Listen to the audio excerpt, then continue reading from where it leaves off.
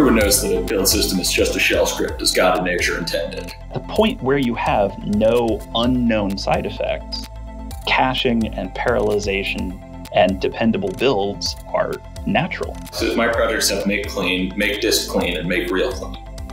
Right. Like, if you have to do any of those things, your build system is fundamentally bad. Yeah, you start with running the commands directly, then you have a shell script that gobbles them together, and then you have make.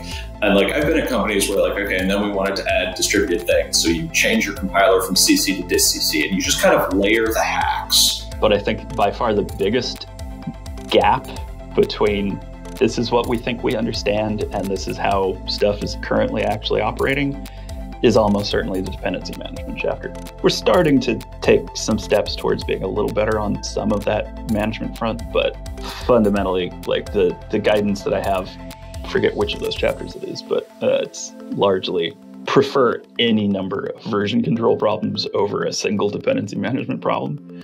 To your point of where do we fail, I would be thrilled uh, to figure out how to get team leads and directors and things all over the all of the company to set continuous delivery targets.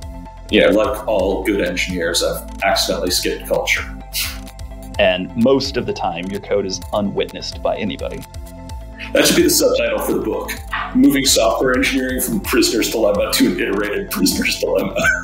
Uh, don't ship things without version numbers. Issue tracking is like wikis, it's just where information goes to die we need the capability of making changes to everything. And fundamentally, all, most of the rest of the book is building the capacity to do that. I, I wish we had more time actually, because refactoring and LSCs are the part that I find most fascinating in this book, and I think are the part that are most foreign to other people.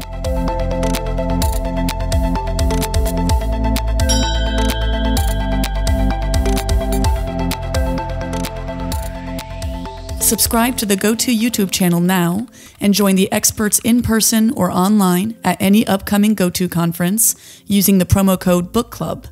Visit gotopia.tech to learn more.